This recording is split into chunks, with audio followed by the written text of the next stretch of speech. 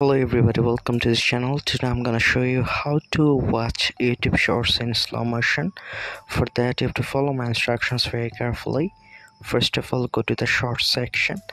Then you have to select the particular shorts you want to watch in slow motion.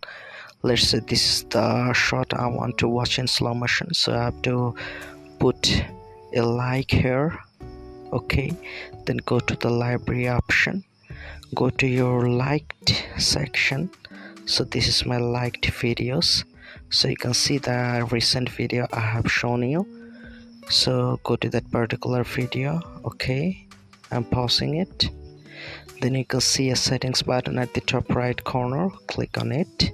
Now you can see there are many options but our desired option is playback speed. Go to playback speed.